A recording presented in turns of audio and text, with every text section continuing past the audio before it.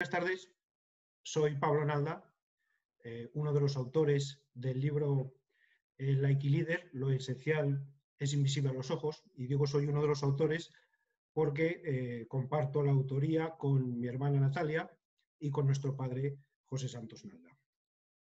La idea surge de, adecuar el mundo de las artes marciales al mundo de los negocios, al mundo del trabajo el, ser capaces de extraer enseñanzas y eh, de las estrategias de las artes marciales y de los samuráis.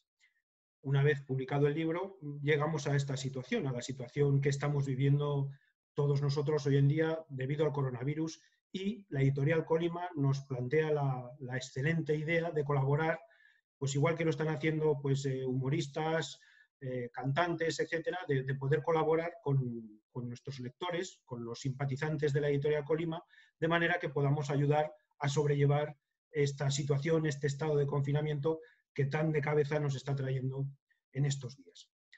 Aceptamos la idea encantados y de mil amores y preparamos esta breve presentación basada en, el libro. Eh, nosotros fundamentalmente, pues bueno, pues, mm, hemos realizado el libro desde la, desde la vivencia y desde la experiencia directa de la práctica de las artes marciales desde hace muchos años y de la aplicación de los principios, de los valores y de las actitudes de, las artes marciales, del Japón oriental, del Japón milenario, de esas leyendas que todos conocemos, aplicadas al mundo del trabajo y sobre todo a la experiencia del aprendizaje, del desarrollo, de las actitudes, de los principios y de los valores necesarios en el mundo del trabajo y de los negocios de hoy en día.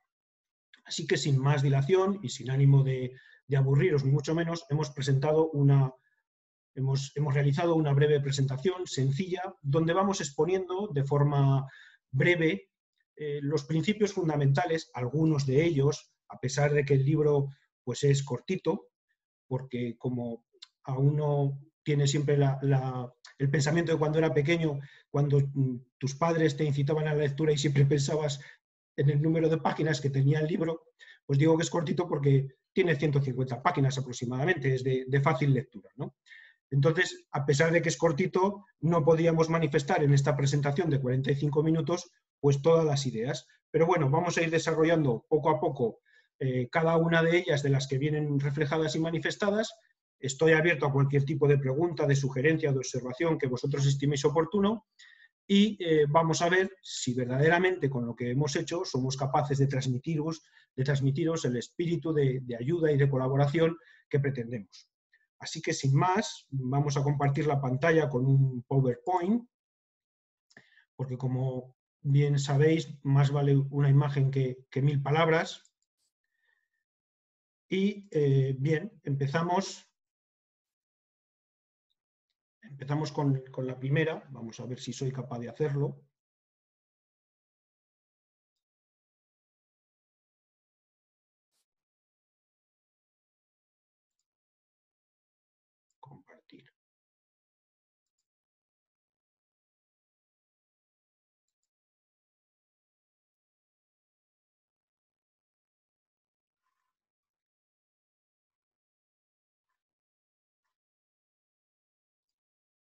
Probablemente esté al final eh, de la presentación. Ah, vale, vale. bueno, pues ya lo siento, vamos a ver. Aquí está. Vale, bueno, pues así empezamos. Gracias. Bueno, lo esencial es invisible a los ojos. Esta cita aparece en, la portada de nuestro título, de, nuestro libro, perdón. Es una cita que proviene del libro El Principito, eh, cuyo autor es Sane Supegui, y que nos resultó pues, verdaderamente atractiva e interesante para reflejarla en la portada del libro. ¿Por qué? Pues como en estos momentos, que lo verdaderamente esencial, lo verdaderamente esencial es eh, las cosas que pasan desapercibidas. Bueno, se me apoderan las circunstancias y aquí veo que están pasando las diapositivas o las presentaciones como, como quieren. No tengo la capacidad de eh, controlar, por decirlo de alguna manera, el orden. ¿vale? Vamos a ver si os estoy desvelando todo el secreto de, la presentación.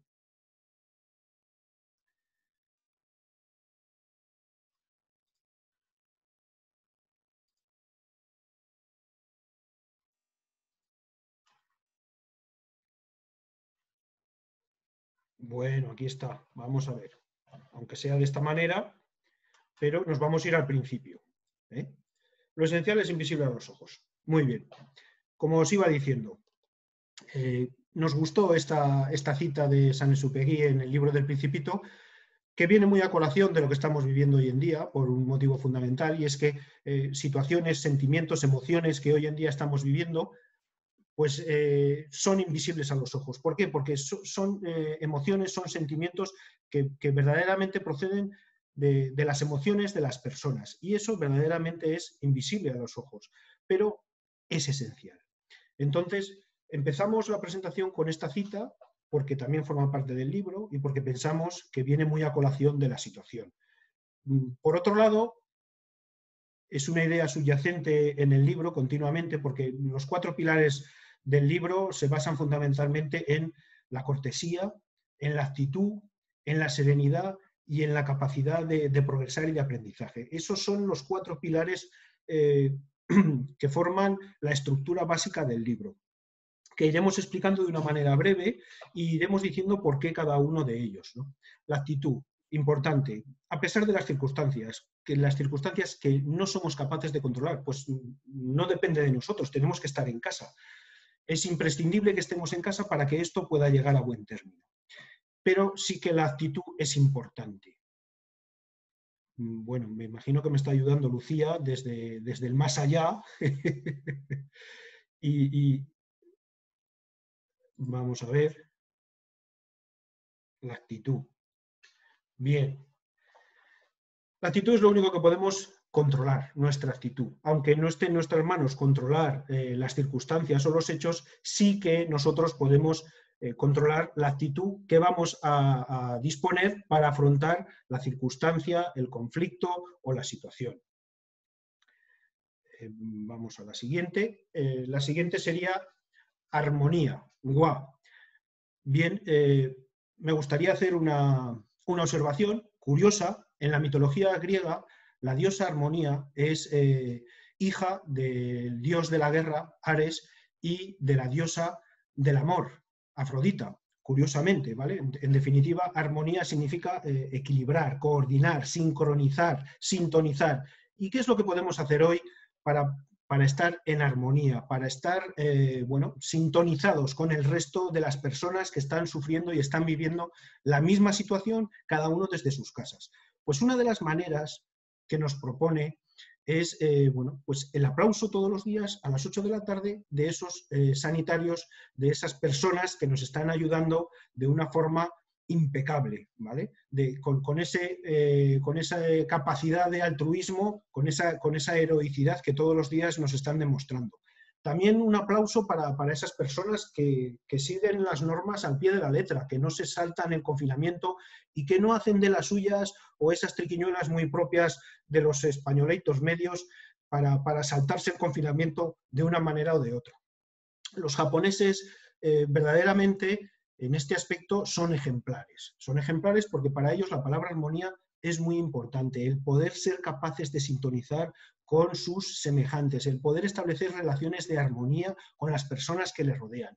Eso es una de las cosas que siempre nos ha sorprendido de la cultura oriental y que por eso hemos querido manifestar en primera instancia en esta presentación. En la siguiente diapositiva, si fueras tan amable, Lucía, ya que veo que estás detrás, tenemos Sei Todo como os decía, eh, uno de los pilares subyacentes del libro, eh, la serenidad. todo hace referencia a ser capaz de mantener la serenidad ante cualquier circunstancia, ante cualquier evento, ante cualquier conflicto. Es muy fácil estar sereno y estar tranquilo cuando todas las cosas van bien. Aquí lo que nos proponen es eh, simplemente no dejarnos influenciar por el medio, por el miedo, ser capaces de, ser valientes, de tener coraje. Estamos en nuestras casas, dentro de nuestras casas. Nadie nos va a hacer daño. Solamente tenemos que quedarnos quietos, en casa, tranquilamente, ¿eh? desde la actitud de la serenidad. Mantener el control de nuestros pensamientos y sobre todo ayudarnos, ayudarnos, es una constante también en el libro, de la respiración. Una respiración lenta y profunda nos permite armonizarnos con nosotros mismos y nos permite también mantener la calma y la serenidad. La siguiente que podríamos hablar, Zansin. Este es un, concepto muy propio y que viene de, la época de los samuráis. Zansin significa la alerta permanente y distendida. Los samuráis tenían que estar atentos a cualquier circunstancia que se produjera en el campo de batalla porque les iba la vida en ello. Ese mismo concepto lo podemos trasladar al mundo del trabajo, al mundo de los negocios. Tenemos que estar todos los días en nuestro puesto de trabajo atento, de una forma no, no histérica, que no nos genere ansiedad, pero sí que tenemos que estar presentes en lo que se celebra, de forma atenta, constante. Y frente al coronavirus, ¿por qué Zansin? Pues porque tenemos que estar alerta, porque un descuido, quitándonos la mascarilla o quitándonos los guantes o no limpiándonos o lavándonos las manos de forma adecuada cuando llegamos a casa, o bien de comprar, o bien de trabajar, o bien de haber salido a pasear al perrico, pues esa falta de descuido puede, o sea, ese descuido, esa falta de atención, esa falta de alerta puede generar que el virus eh, nos contagie. De manera que Zansin, una actitud de los samuráis nos puede ir muy bien para luchar contra el coronavirus. Por otro lado, podríamos hablar también de Yosin, el espíritu del sauce. ¿Y qué podemos decir del espíritu del sauce? Pues la flexibilidad. Eh, un doctor que viajó a la China para, poder allí, hace años, eh, estamos hablando de hace muchos siglos, en su viaje de vuelta de la China, que fue allí para aprender métodos y formas de, curación, en, su viaje de vuelta le pilló una gran nevada por su camino y se dio cuenta, bueno, pues que las ramas de los árboles, de los robles, se cargaban de, nieve y se partían. Sin embargo, los sauces también se cargaban de nieve, pero se doblaban, se caía la nieve y volvían a, su posición natural. De ahí que trascendiera a una serie de escuelas del budo, del karate, que se denominarán las Yoshin Ryu, las escuelas de la flexibilidad o del sauce. ¿Y qué podemos aplicar?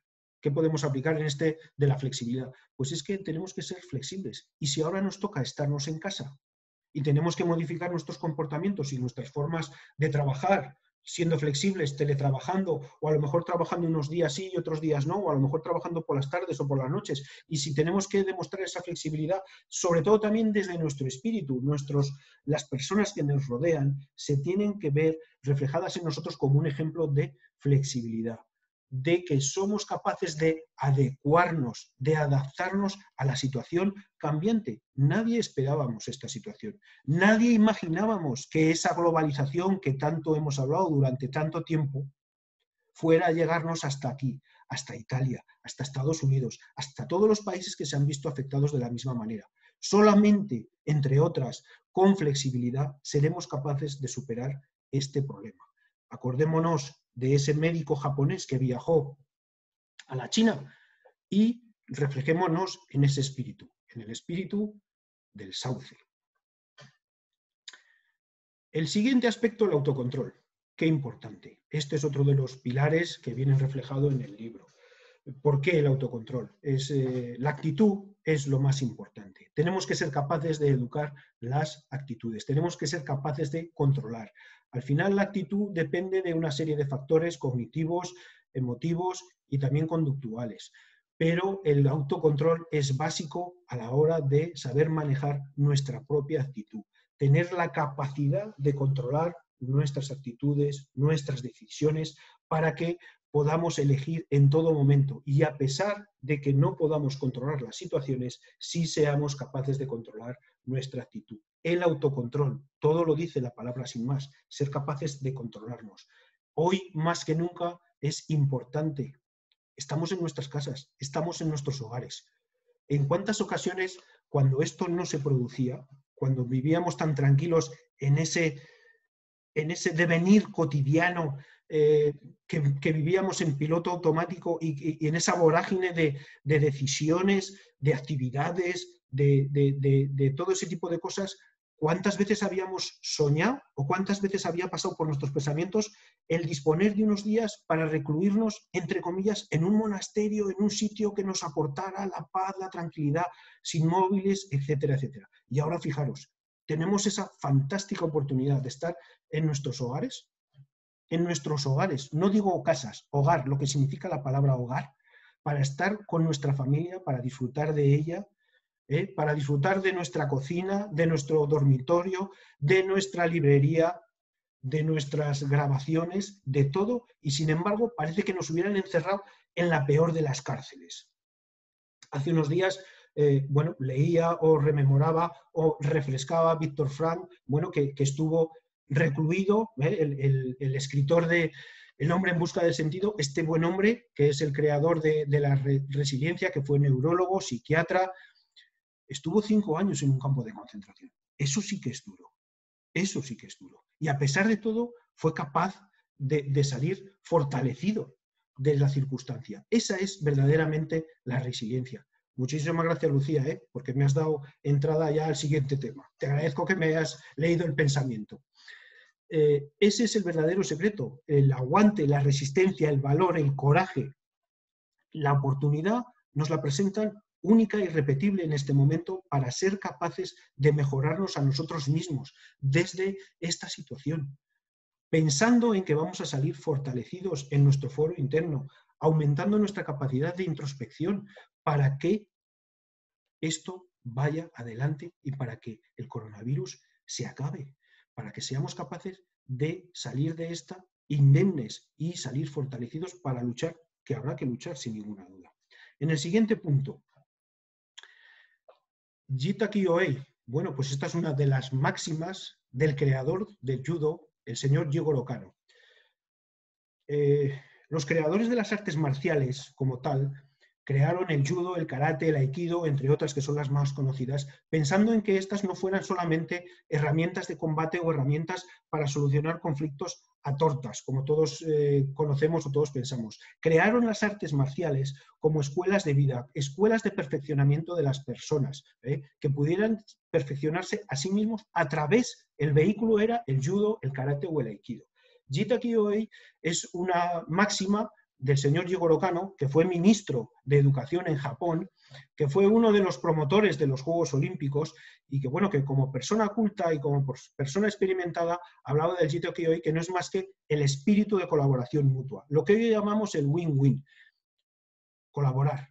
No nos queda más remedio que pensar hacia adelante desde el punto de vista de la colaboración colaboración con nuestros vecinos, esos, esos gestos, esos signos de solidaridad que se han visto en todos los rincones de España, de ayudar a las personas desfavorecidas, de ayudar a los mayores, de subirles o de traerles la compra.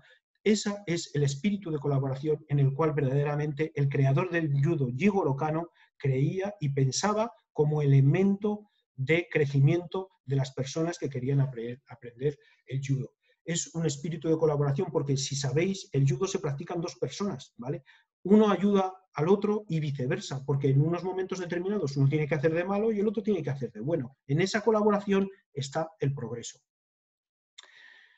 La siguiente, si eres tan amable, por favor, Kaizen, espíritu de operación. Todos habréis oído hablar de esta máxima, sobre todo porque, bueno, la divulgó mucho eh, Toyota, el fabricante de coches.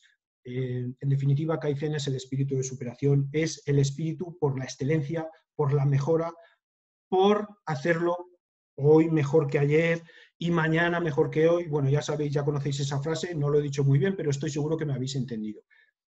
A pesar de estar confinados, tenemos la oportunidad de mejorarnos. Tenemos, tenemos todo el tiempo del mundo, por decirlo de alguna manera. Eso que antes era ese bien escaso porque íbamos de una actividad a otra de una forma trepidante, ahora mismo tenemos la oportunidad de disponer de ese tiempo para mejorarnos en la lectura, en la escritura, en las relaciones. Hemos recuperado, lo dicen en, todos los medios de comunicación, hemos recuperado el teléfono no solamente para WhatsApp, sino para llamar a nuestros amigos, a nuestros familiares, a nuestros primos, a nuestros tíos, a nuestros abuelos, a todo el mundo.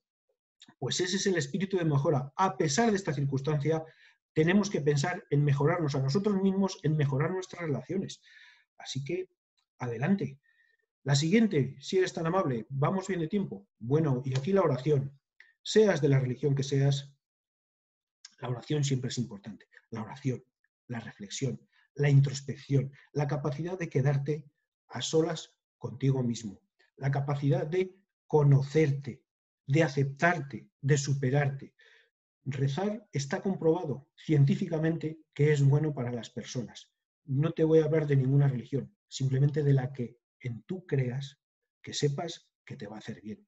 Ese rato que puedas encontrar a solas, que los vas a tener y muchos, si puedes dedicarle unos minutos de dedicación, te va a ir muy bien, te va a ayudar a entenderte, a comprenderte, a serenarte y sobre todo a buscar eh, nuevos horizontes, a buscar y a encontrar la valentía y el coraje que vamos a necesitar cuando todo esto se acabe.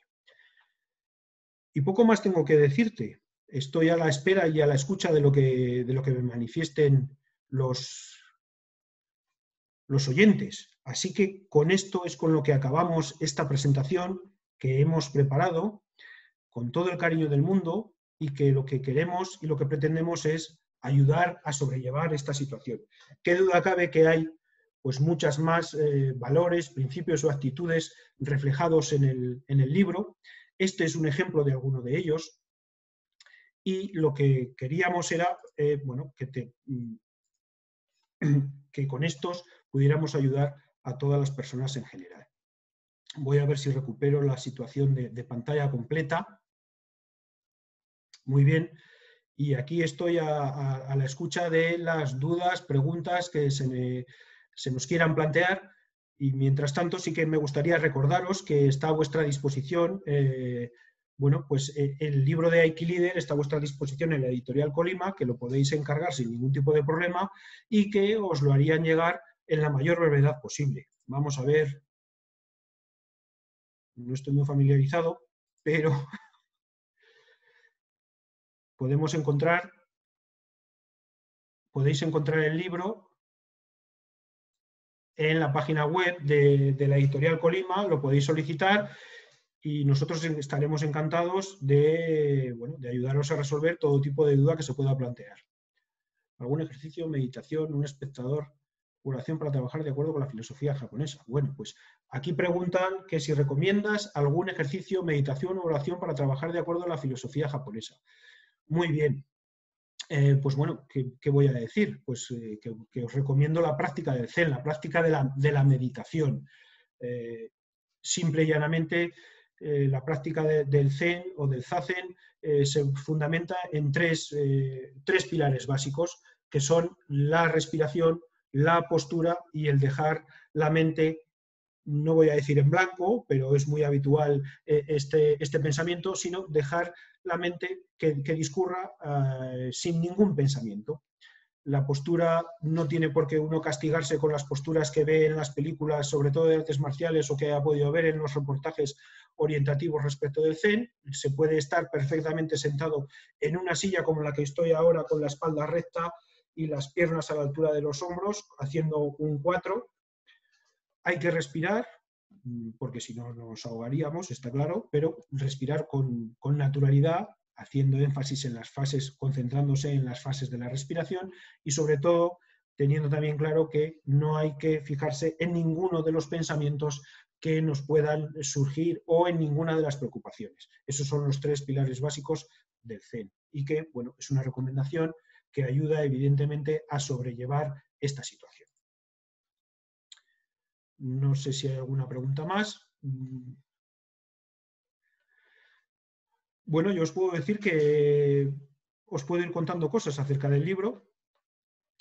Nosotros, eh, tanto Natalia, mi hermana, como mi padre, somos practicantes de Aikido, somos practicantes de una de las artes marciales que antes os he mencionado.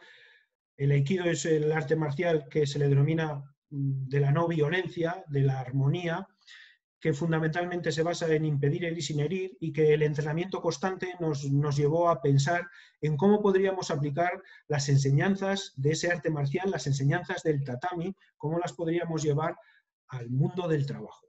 Esto ha sido pues, bueno, una labor de, de experimentar esos principios y esos valores y esas actitudes que proceden de las artes marciales, del judo, del aikido, del karate, que pusieron ya en práctica los samuráis en su día en la necesidad de eh, verse amparados o verse ayudados por las enseñanzas del Zen para poder trascender más allá de lo que es el miedo que ellos sentían ante esa responsabilidad que, ostentaban ante su, señor feudal y ante los vasallos o los súbditos o de las diferentes eh, eh, encomiendas que, le hacían sus, sus jefes.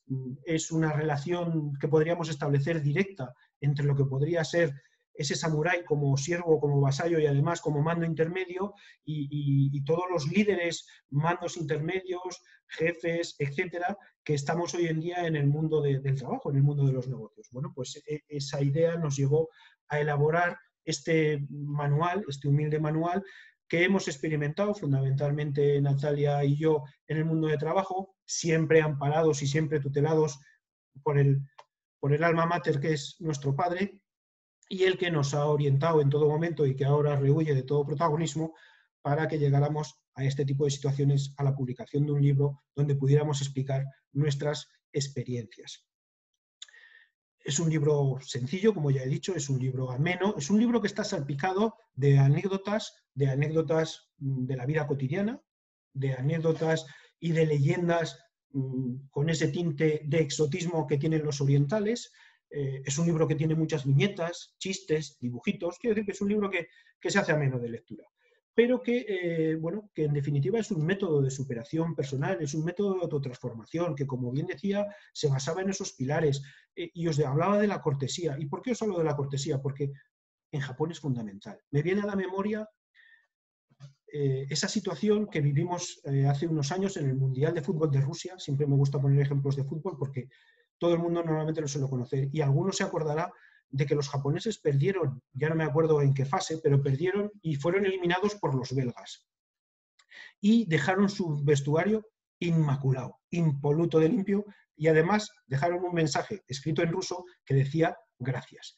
Bueno, pues esa es la cortesía que define verdaderamente a un pueblo. Y esa es la cortesía que te inculcan o que te enseñan en las artes marciales. Y esa es la cortesía que nosotros querríamos transmitir a nuestros alumnos en las artes marciales, pero también nos gustaría transmitir a las personas que nos rodean. La cortesía es un signo o un síntoma, como lo queráis llamar, de fortaleza, es un signo de autocontrol. Por eso es uno de los pilares básicos y por eso se hace énfasis en el libro. Voy a ver que parece ser que tenemos alguna que otra pregunta. ¿Es más fácil entender el aikido en el entorno familiar? referente a que todos habláis el mismo idioma del aikido. Bueno, claro, esto es evidente. en, nuestra familia practicamos el aikido, como me imagino que será más fácil hablar en el entorno familiar de la familia que todos juegan a baloncesto, todos juegan a fútbol. Todos los deportes tienen sus valores, todos los deportes tienen su riqueza, su valor intrínseco de comunicación y de transmitir eh, principios y actitudes no solamente las artes marciales. Está claro que mm, bueno, cualquier disciplina que sea bien empleada y, para buen fin, es fantástica y maravillosa para transmitir valores como espíritu de sacrificio, eh, trabajo en equipo. Lo que pasa que hay veces que unas tienen peor propaganda que otras. Hay veces que resulta difícil transmitir ciertos valores cuando estás viendo en la televisión continuamente a jugadores, y no voy a decir de qué deportes, que todos podéis entenderme perfectamente, pues que lo que intentan continuamente es hacer trampas, protestan, escupen, etcétera, etcétera. Pero qué duda cabe que todos los deportes tienen unos valores esenciales en la educación de los niños y de las personas. Ya no sé dónde me he quedado, pero podemos seguir. Hablaba de la serenidad, uno de eh, hablaba de, la cortesía. Otro de los pilares fundamentales es la serenidad. Eh, eh, el libro se empeña bastante en, ciertos, en ciertas actitudes con nombres, no voy a decir impronunciables en japonés, pero que ahora no vienen al caso para no marearos, pero donde se hace bastante énfasis es en la serenidad, en, esa capacidad de mostrarnos serenos ante cualquier circunstancia, porque es la actitud que nos va a permitir mantener la lucidez para la toma de decisiones. Cuando una persona está serena, ve las cosas de una manera totalmente distinta que cuando está agitada, cabreada, molesta o como lo queráis llamar. Entonces, explicamos diversas, eh, bueno, diversos métodos, diversos valores eh, propios de la cultura oriental y propios que experimentaron los samuráis para llevar a cabo en su quehacer cotidiano que te puedan llevar a adquirir esa serenidad. Hablábamos de la cortesía, hablábamos de la serenidad, hablábamos, pues bueno, de, que enfocamos fundamentalmente el libro también en el tema de las actitudes, ¿no? la capacidad de elegir nuestra actitud. Y, sobre todo también del autocontrol. Todos tenéis la imagen de esos grandes maestros que habéis visto en las películas que permanecen impasibles ante las provocaciones de los, eh, de los macarras, ¿no? de, los, de los chuletas. Bueno, pues eso es lo que pretendemos eh, transmitir también en el libro, ¿no? el poder ser capaces de adquirir la cualidad de tener autocontrol de, ser dueños de nuestras circunstancias y de nuestras situaciones. No estoy hablando de las que hay alrededor nuestro de las externas, pero sí de nuestra situación interior, de ser capaz de permanecer ecuánime, de permanecer tranquilo, sobre todo porque esas cualidades o esas virtudes me permitirán tomar o adecuar mejores decisiones. En definitiva, es un libro como ya viene dicho, de autotransformación, de desarrollo personal. Es un libro que lo que pretende es que, lo conozcas, que lo leas, que conozcas eh, esas herramientas, que las hagas tuyas que te sirvan y que las vayas perfeccionando, esto no se adquiere de un día para otro. No, le vamos a poner plazo, pero sí que el conocerlas, que son las mismas actitudes que están en boca de todos. Lo que pasa es que nosotros le hemos dado un tinte oriental, por decirlo de alguna manera. Hoy sabemos que todo lo oriental está de moda, pues ya sabes, el orden de, esta señora que también ha publicado varios libros, que pues fíjate, el orden, si si es que es importante y primordial. El orden aporta tranquilidad, lo que hoy estamos hablando de las rutinas para generar tranquilidad ser capaces de encontrar los papeles donde los he dejado. Pues fijaros, estamos hablando de, ese tipo de técnicas orientales que hoy en día se están poniendo de moda, pues bueno, no es que estemos hablando de que hemos aprovechado el filón, porque nosotros ya venimos practicando el tema del aikido y las artes marciales de hace mucho tiempo, pero sí que, eh, bueno, hemos, hemos eh, dotado a estas actitudes de, ese tinte oriental para llegar más al lector y para que le resulte más curioso y más, eh, y más atractivo. Vamos a ver qué parece que hay más preguntas. ¿Es el aikido el arte marcial más cercano al 100? Bueno, pues posiblemente sí, posiblemente el aikido es el arte marcial eh, con la parte más espiritual. Seguramente también se ha conservado así porque el aikido no tiene competición. No digo que el judo y el karate eh, no estén cercanos también al zen, que también tienen su parte espiritual y también tienen su parte de, de creencia en el zen, pero tienen una competición, tienen unos objetivos, tienen una serie de, métodos que mm, no voy a decir que hayan desvirtuado esa esencia, pero sí que mm, ha, proliferado más y esa parte más, eh, más espiritual, por decirlo de alguna manera, ha quedado más en un segundo plano. El aikido, con esa vertiente más espiritual, se debe fundamentalmente pues, a que no se ha desvirtuado por el tema de la competición. Estamos en 32 minutos, me han pedido que esto durara máximo 45. Es lo que os puedo decir y es lo que os puedo contar. No digo que se me haya acabado el rollo, pero no me atrevo a seguir contando más cosas. No vaya a ser que... Aquí se me encienden todas las luces rojas. Nos vais a perdonar un poco también porque no estamos familiarizados con esta forma, lo cual no significa que no hayamos aceptado la invitación y estemos aquí para, ayudar de la mejor manera posible. Muy bien, pues parece que hay otra pregunta. Vamos allá. ¿Sería efectivo instalar el líquido en el sector empresarial? Bueno, pues, pues es una experiencia que ya se está realizando en otros países, sobre todo en Francia y en Hispanoamérica también. En, Francia, que nos lleva la delantera tanto en el aikido como seguramente también en la investigación a nivel de, la aplicación de estos principios en el mundo empresarial, ya hay personas, ya hay especialistas que están aplicando el aikido en, las empresas, ya se están haciendo demostraciones, no demostraciones de repartir tortas, como digo yo, sino demostraciones de cómo ese espíritu de no violencia, ese espíritu de, de armonizar del aikido, eh, de hacerse uno con el contrincante, da resultado en las negociaciones y en los conflictos que surgen de, bueno, fruto del quehacer cotidiano en el mundo de los negocios. También tenemos constancia de que en Iberoamérica, en alguno de, aquellos países, pues están llevando a cabo experiencias de similares características. Nosotros también hemos llevado a cabo en alguna otra ocasión alguna experiencia eh, que ha resultado verdaderamente grata y positiva, sobre todo porque, bueno, pues a, los... Eh, a las personas que nos escuchan o a las personas que participan en algún que otro seminario que hemos impartido, les resulta curiosa, les resulta atractiva la idea de, este tipo de conceptos orientales que siempre van eh, bueno, eh, tintados un poquito con ese exotismo de ese maestro zen o de ese maestro que está meditando eh, debajo de la cascada con su kimono y su cinturón negro. ¿no?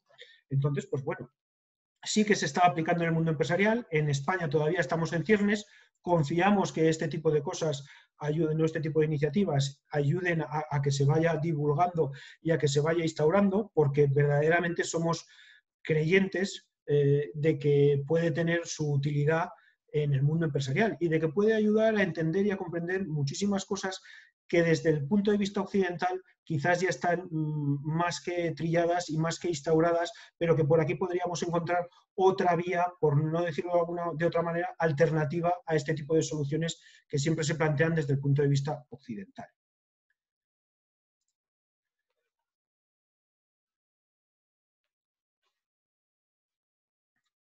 Como no sé cómo va a acabar esto, me refiero a, la charla, conferencia, webinar, quiero aprovechar, bueno, agradecer a Editorial Colima el brindis que nos hace al, poder participar en esta, en esta webinar, en esta iniciativa de poder ayudar a las personas que están confinadas y también, pues sobre todo al equipo, al Rocío, que nos ha ayudado en todo momento, a Lucía, que es la que está detrás, entre bambalinas, como bien le decía, yo estoy aquí que me da la sensación que estoy en, un programa de televisión. ¿no? Eh, a pesar de la distancia, a pesar de que yo estoy tranquilamente en el salón de mi casa, el apoyo constante que, siento en todo momento de Lucía y, sobre todo, pues bueno, pues agradecer a Marta, la directora de la editorial, pues la confianza que ha depositado en nosotros con la, con la publicación de los libros que tenemos en Colima y con la iniciativa.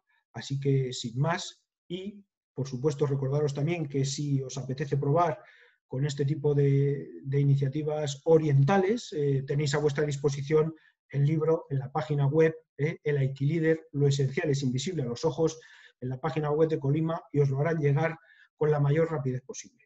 Gracias a todos y hasta la próxima.